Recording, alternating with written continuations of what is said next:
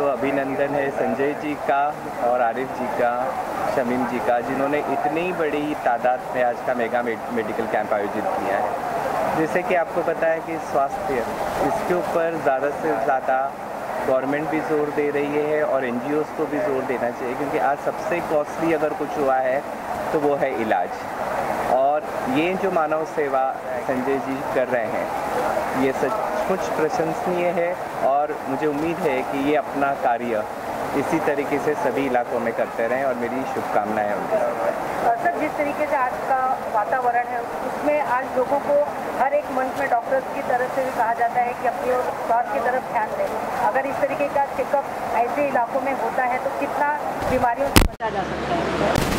नहीं अगर बीमारियों से बचना है तो उसके लिए पहले जैसे अपन कहते हैं कि प्रिकॉशनरी मेजर्स ये जो सुविधाएँ प्राप्त होती है और जो ये सुविधा संजय जी ने आज लोगों को उपलब्ध करके दी है ये एक प्रिकॉशन के तौर पे बहुत ही ज़रूरी है। जैसे मैंने अभी देखा है इतने बड़े पैमाने पे उन्होंने ये कैंप आयोजित किया है जैसे ब्लड टेस्ट किया है तो अगर कोई बीमारी की जानकारी पूर्व जानकारी हो जाती है तो उसका इलाज अच्छे तरीके से होता है। तो ये सचमुच एक प्रिकॉशनरी मेजर का बहुत बड़ा हिस्सा है। संजय जी आपसे जानना चाहूँगा कि कैसे एक टीम माइक पे संजय सर कैमरे पे ध्यान सबसे पहले मैं धन्यवाद दूँगा अजय सर का जिन्होंने आज यहाँ पर आकर के इस कैंप का उद्घाटन किया और उनके सहयोग के द्वारा ही ये संभव हो पाया कि मेडिकल कैंप करना ऐसा है कि आज इंसान के अंदर अगर कुछ करने की तो रास्ते अपने आप बन जाते हैं। जब मैंने बात का निर्णय लिया कि मेडिकल कैंप ऑर्गेनाइज करना है मैंने अपने दोस्तों को फ़ोन किया कि कैसे करेंगे। तो आरिफ भाई आरिफ भाई ऑलरेडी कई मेडिकल कैंप्स कर रहे हैं। मैंने कहा कि आप मुझे इस इलाके में संस्था के माध्यम से मेडिकल कैंप का आयोजन करें मीटिंग एक बार मीटिंग की, हमने सारे डॉक्टर्स की उसकी और सारे लोग अच्छा काम करने की आप अगर शुरुआत करोगे। आपके साथ जुड़ते चले जाएँगे। निस्वार्थ सेवा के लिए आपके साथ सभी लोग जुटे हैं। और जैसे कि माननीय प्रधानमंत्री नरेंद्र मोदी जी का सपना है कि सभी गरीबों को घर मिले। उसी तरह से हर गरीब व्यक्ति को मुफ़्त में इलाज मुहैया कराया जाए। इसके लिए भारतीय जनता पार्टी सरकार प्रतिबद्ध है। उसी दिशा में सरकार अपना काम कर रही है तो समाज के हर उस सत्तर व्यक्ति को अपना अपने तरह से योगदान अपना क्या कर सकता है उस, कार्य को आगे बढ़ाने के लिए। ऐसी स्वयंसेवी संस्थाएँ जैसे हमारी जी उसकी प्रतिष्ठान है। उसके माध्यम से हमने मेडिकल कैंप ऑर्गेनाइज किया और मेडिकल कैंप हम और भी जगह पर ले जाएँगे। तो पार्टी और सरकार की जो धारणा है हर उस गरीब व्यक्ति तक इलाज पहुँचे उसको दवा मिले ताकि एक स्वस्थ सुंदर जीवन जी सके। और आगे का आगे का विजन क्या आपका? मतलब सिर्फ़ इंडिविजुअल के तौर पर आपका सब आपका सपोर्ट मतलब क्या है? लोगों का सपोर्ट चाहिए आपको?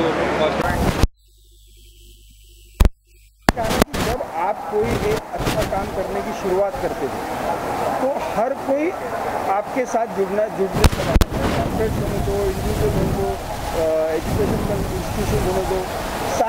आपके साथ जुड़ेंगे। आप सिर्फ़ एक अच्छे काम की शुरुआत कीजिए। आपको ना ही पैसे की कमी पड़ेगी ना लोगों की कमी पड़ेगी। सिर्फ़ आपका उद्दिष्ट पवित्र होना चाहिए। अच्छा जिस तरीके से मेडिकल कैंप यहाँ पे रखा गया है अगर किसी तरीके से किसी व्यक्ति में अगर बीमारी निकल कर बाहर आती है तो किस तरीके से आप लोगों की तरफ़ से उनको मदद मिलेगी हमारी संस्था के माध्यम से जो जितनी दवाइयाँ हम मुफ़्त में मुहैया करा सकते हैं वो हम कराएँगे।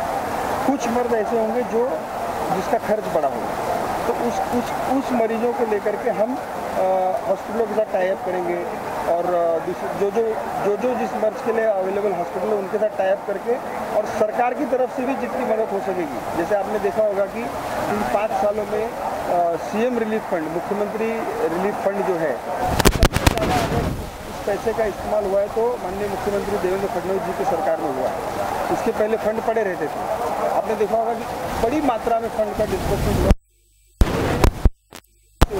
उसका किया और वहाँ से कुछ लोगों को उपलब्ध कराना चाहेंगे। और कई ऐसी हॉस्पिटल्स हैं, जो इस काम में बढ़ के हिस्सा लेते हैं। तो हम उनसे एक, हम उनमें और उनके बीच का एक ब्रिज बनने का प्रयास करें आपसे अगर संपर्क करना चाहें तो किस तरह से आपको बीमारी है वो अगर आपको मिलना चाहता है संपर्क करना यहाँ पर रजिस्ट्रेशन काउंटर पे हमने एक नंबर रखा हुआ है। उस नंबर पे आप संपर्क करेंगे तो आपको जो जो हमने हमारी तरफ़ से सुविधा उपलब्ध करा सकते हैं वो हम सुविधा आपको उपलब्ध करा के देंगे। ये क्या कहना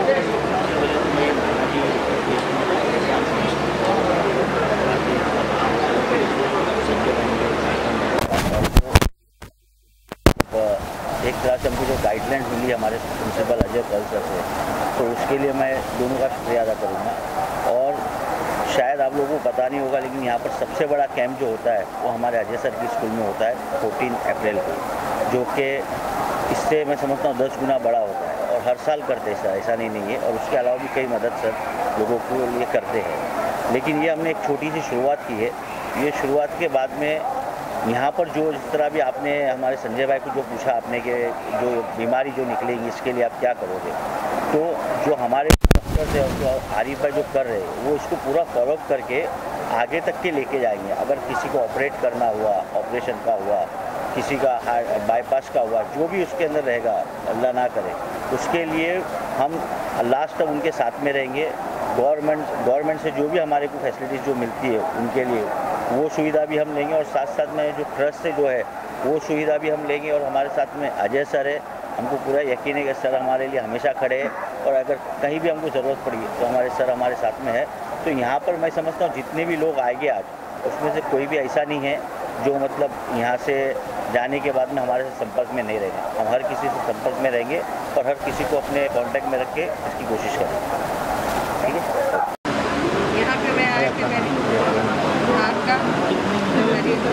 ठीक है ऐसे ये करवाए ब्लड प्रेशर मेरा हमेशा ज़्यादा रहता है उसको करवाए मतलब थोड़ा सा ज़्यादा तो यहाँ पर दवाइयाँ डॉक्टर ने दिया जो सलाह दिया वो सही हाँ वो सब पूरा सही क्या कहा डॉक्टर ने डॉक्टर ने कहा बोला कि मतलब ये दवा बराबर चलाओ जो दवा के काम है इससे वो इसके साथ में दवा में लेके जो घर पे खा रही वो नहीं लाए डॉक्टर ने बोला कि उसको लेके आओ वापस में लाओ इस समय दवा ले लो जाके लेके आओ मैं फिर देख के दवा देती हूँ। अच्छा जो मेडिकल कैंप लगा है आज उससे फ़ायदा हुआ? हाँ।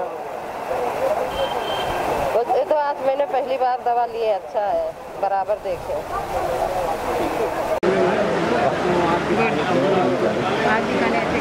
जो कैंप में आए तो डॉक्टरों से मिले आप क्या सलाह दिया? डॉक्टर ने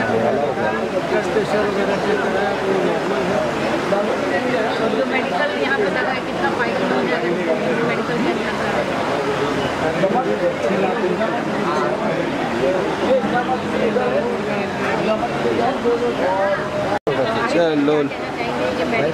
चलो के लिए खास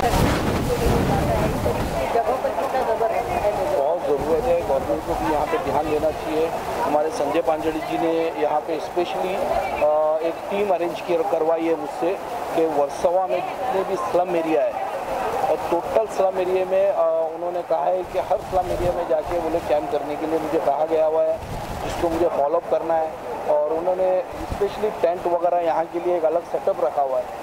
तो जो डॉक्टर्स वगैरह जो भी है उन्होंने कहा कि जाइए और जाके अभी जो हिसाब से बीमारियाँ अभी जो बारिश हुई है इसमें जो अभी फ्लू वगैरह जो चालू हुआ है, जो भी नई बीमारियाँ वगैरह तो इसके लिए हम लोग अभी से रोकथाम कर रहे हैं। तो एक एक एक एक करके एरिया हम उसको चूज़ किए हुए स्लम को और उसमें जाके हम पूरी हमारी टीम रहेगी जो जाके हम स्पेशली उधर से पेशेंट जितने भी होते हैं, वो हम वहाँ से पेशेंट्स को ट्रीट करके हम उनको दवाई वगैरह प्रोवाइड करेंगे। और अगर ज़रूरत पड़े तो उनको हॉस्पिटलाइज के लिए तो हम उधर एंजियोग्राफी एंजियोप्लास्टिक बाईपास जो महात्मा फुले में जो स्कीम्स में होता है ये हम लोग ऑपरेशन जो है वो हम इसको हम फ्री में करवाएँगे।